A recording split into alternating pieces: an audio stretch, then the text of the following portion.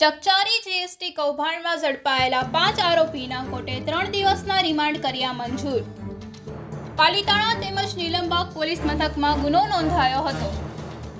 ગરીબ લોકોના આધાર કાર્ડ મેળવી તેમાં મોબાઈલ નંબર અપડેટ કરી ખોટા જીએસટી નંબર મેળવી આચરવામાં આવ્યું હતું કૌભાંડ.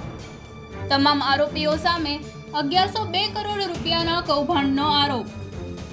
જેમાં સીટની ટીમે પાલીતાણામાં નોંધાયેલ ગુનામાં એક શાહરૂખ ઉર્ફે ભૂરો યુસુફભાઈ પઠાણ, બીજું વસીમ ઉર્ફે સાવજ મહેબૂબભાઈ ખોખર, ત્રણ સરફરાઝ અબ્દુલ મુનાફ શેખ, ચાર અફતાબ ઉર્ફે અબ્દુલભાઈ સમા, તેમજ ભાવનગર નિલંબાગ પોલીસ સ્ટેશનમાં નોંધાયેલ ગુનામાં એક જુનેદ ઉર્ફે બાપુ મેશનભાઈ સૈયદ.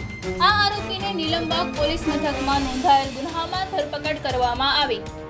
ઝડપાયેલ તમામ આરોપીઓને કોર્ટમાં રજૂ કરાતા કોર્ટે તેમના ત્રણ દિવસના રિમાન્ડ કર્યા મંજૂર.